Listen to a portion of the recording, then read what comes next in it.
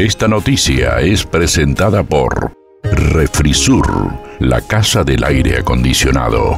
Firma de convenio entre el PRO del programa de desarrollo que fomenta el básquetbol en los barrios de Encarnación y la municipalidad de Encarnación. Que desde el PRODE, una asociación PRODE, Proyecto de Desarrollo, Proyecto de Desarrollo enfocado al básquetbol encarnaceno. Pues después de habernos reunido, conversar con el arquitecto Peña, con el señor Gracias. Hemos encontrado demasiados puntos de coincidencia y principalmente una coincidencia para nosotros demasiado relevante, el hecho de apuntalar los barrios.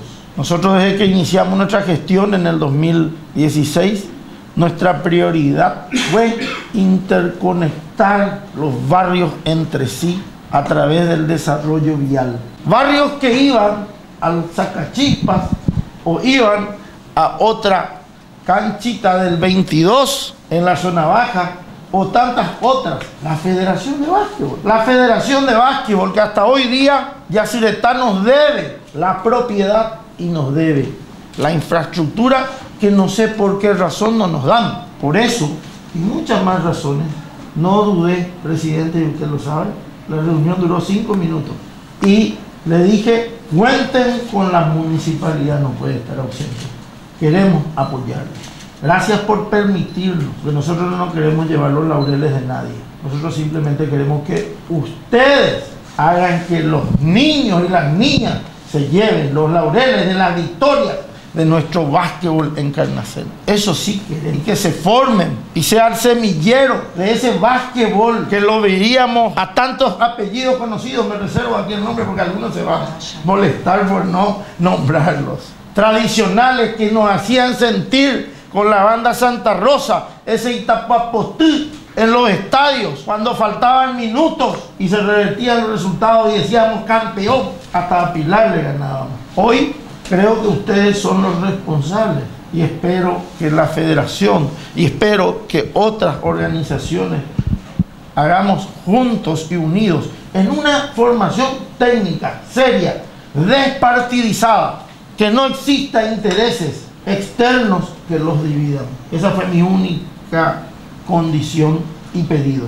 Que no exista intereses externos, porque a veces van a recibir propuestas hasta millonarias, pero con otras intenciones detrás. Vale más el esfuerzo que están haciendo a que recibir todo tan rápido y tan fácil.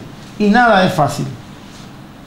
Y cuando nada es fácil, la cosecha es más fructífera, da más sabor, da más alegría. Detrás de ustedes con una colaboración que vamos a celebrar en este eh, convenio marco, en donde la municipalidad pondrá su parte en una primera etapa para poder ampliarse ya cuando empecemos a trabajar juntos en, en más siembra, que ustedes están sembrando. Gracias por permitirnos ser parte de esta siembra.